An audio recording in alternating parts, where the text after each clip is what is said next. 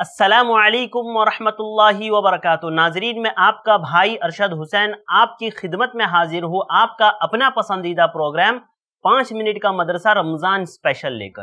ناظرین، ہمارا پہلا موضوع ہے قرآن۔ اللہ تعالیٰ کا فرمان ہے وَبْتَغِي فِي مَا آتَاكَ اللَّهُ الدَّارَ الْآخِرَةَ وَلَا تَنْسَ نَصِيبَكَ مِنَ الدُّنْيَا وَأَحْسِن كَمَا أَحْسَنَ اللَّهُ إِلَيْكَ وَلَا تَبْغِ الْفَسَادَ فِي الْأَرْضِ إِنَّ اللَّهَ لَا يُحِبُّ الْمُفْسِدِينَ۔ جو کچھ اللہ تعالیٰ نے تجھے دے رکھا ہے، اس میں سے آخرت کے گھر کی تلاش بھی رکھ اور اپنے دنیاوی حصے کو نہ بھول۔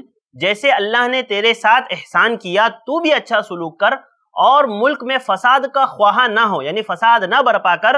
یقیناً اللہ تعالیٰ مفسدوں کو ناپسند کرتا ہے۔ ناظرین، اس میں چند باتیں اللہ رب العالمین نے بتائی۔ ایک تو یہ کہ اپنے مال کو ایسی جگہ اور ایسے راہوں میں خرچ کرو جہاں اللہ تعالیٰ پسند کرتا ہے۔ جہاں سے آپ کی آخرت سور جائے، آپ کی آخرت بن جائے۔ ناظرین، رمضان المبارک کا مہینہ چل رہا ہے، ختم ہونے والا ہے۔ لہذا اپنے اعمال میں اضافے کی کوشش کیجیے، اپنا مال اللہ کی راہ میں خرچ کیجیے۔ دوسری چیز اللہ تعالیٰ نے اس میں بتائی، ولا تنس نصیبہ کا منت دنیا کہ دنیا سے اپنا حصہ مت بھولو۔ آپ کو اللہ تعالیٰ نے دنیا میں پیدا کیا ہے تو آپ دنیا میں جو حصہ آپ کا اللہ تعالیٰ نے رکھا ہے، اس کو نہ بھولو۔ آپ کماؤ، کھاؤ، پیو، اپنے بیوی بچوں کی ضروریات کو پورا کرو۔ یہ ساری چیزیں جس طرح اللہ کا حق ہے، اسی طرح بندوں کا بھی حق ہے۔ تو بندوں کا حق بھی آپ ادا کرو، ہے نا؟ اللہ تعالیٰ نے کہا نا، ربنا آتینا فی الدنیا حسنا، کہ اللہ تو ہماری دنیا بھی اچھی بنا اور آخرت بھی اچھی بنا۔ لہذا دنیا سے اپنا حصہ نہ بھولو۔ اور اسی طرح ایک بات اللہ تعالیٰ نے جو اس آیت میں بتائی، وہ یہ کہ تم دنیا میں فساد پیدا نہ کرو۔ دنیا میں فساد پھیلانے سے بچو۔ اللہ تعالیٰ فساد پھیلانے والوں کو پسند نہیں کرتا۔ لوگ کہتے ہیں اسلام آتنگواد کی تعلیم دیتا ہے۔ دیکھو، اللہ تعالیٰ کہہ رہا ہے کہ فساد بھی مت مچاؤ، لوگوں کو پریشان مت کرو، تکلیف میں نہ ڈالو۔ اللہ تعالیٰ منع کر رہا ہے۔ لہذا میرے بھائیوں، ان آیتوں میں جو باتیں بیان کی گئی ہے ضرور بھی ضرور ان کو سمجھو اور ان پر عمل کرنے کی کوشش کرو۔ ناظرین، چلتے ہیں ہمارے اگلے موضوع کی طرف۔ ہمارا اگلا موضوع ہے سنت۔ سنت میں آج ہم بات کریں گے نفل روزوں کے تعلق سے۔ رمضان کا مہینہ ختم ہونے والا ہے، کچھ دنوں میں ختم ہونے والا ہے۔ لہذا ہو سکتا ہے اس کے بعد ہم روزہ رکھنا چھوڑ دیں، ایسا مت کیجیے۔ روزہ رکھنا بہت اچھی عادت ہے اور نفل روزے جو اللہ کے نبی صلی اللہ علیہ وسلم نے خصوصیت کے ساتھ رکھے ہیں، انشاءاللہ ہمیں بھی وہ روزے رکھنے چاہیے۔ میں چند روزوں کا ذکر آپ کے سامنے کروں گا۔ سب سے پہلے ہم بات کریں گے پیر اور جمعرات کے روزوں کے تعلق سے۔ اللہ کے نبی صلی اللہ علیہ وسلم نے فرمایا، تعرض الاعمال یوم الاثنین و یوم الخمیس فاحب ان يعرض عملی وانا صائم.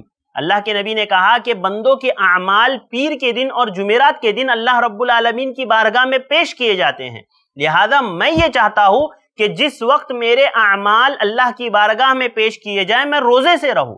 لہذا پیر اور جمعرات کا روزہ یہ اللہ کے نبی صلی اللہ علیہ وسلم رکھا کرتے تھے، مجھے اور آپ کو بھی رکھنا چاہیے۔ سوچئے کتنی اچھی بات ہے، جب اللہ کے پاس ہمارے اعمال پیش کیے جائیں گے تو ہم اس حالت میں ہوں گے کہ ہم روزے سے ہوں گے۔ تو کتنی اچھی بات ہوگی، ہے نا؟ یعنی پیر کے دن روزے کے تعلق سے جب اللہ کے نبی صلی اللہ علیہ وسلم سے پوچھا گیا تو آپ نے فرمایا کہ میری پیدائش بھی اسی دن ہوئی اور مجھ پر وحی بھی اسی دن نازل ہوئی۔ لہذا عزیز بھائیوں، پیر کا روزہ اور جمعرات کا روزہ اہم ہے، نفل ہے لیکن اہم ہے۔ رکھنا چاہیے مجھے اور آپ کو اجر و ثواب کے اعتبار سے بہت اچھا ہے۔ لہذا ہمیں چاہیے کہ ہم روزہ رکھیں۔ لوگ اللہ کے نبی صلی اللہ علیہ وسلم کی پیدائش پر بدعتیں، خرافاتیں کرتے ہیں۔ اس سے بچو اور اللہ کے نبی سے اگر حقیقی محبت کرتے ہو تو آپ کی پیدائش کے دن پر روزہ رکھو۔